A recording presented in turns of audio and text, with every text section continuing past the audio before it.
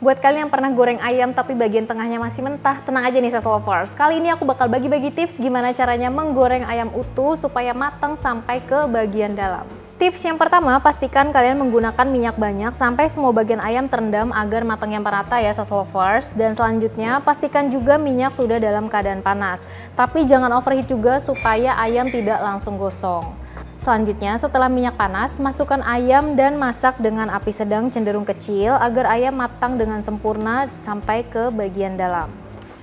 Nah untuk ciri-ciri ayam kalau sudah matang ada dua opsi nih sasa lovers. Yang pertama kalian bisa cek suhu ayam untuk meyakinkan ayam sudah matang atau belum.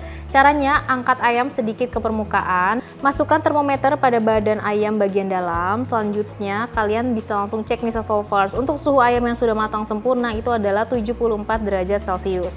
Jadi kalau suhunya masih kurang dari 74 derajat celcius itu menandakan ayam sebelum matang.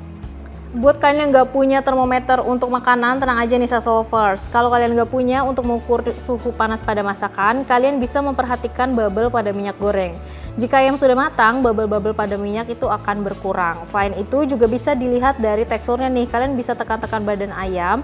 Ayam yang matang sempurna akan memiliki tekstur yang padat dan sedikit empuk. Jika teksturnya cenderung kenyal, menandakan ayam belum matang. Itu tadi tips gimana caranya menggoreng ayam supaya matang sempurna. Semoga tips kali ini bermanfaat. Sampai ketemu di tips lainnya. Bye-bye.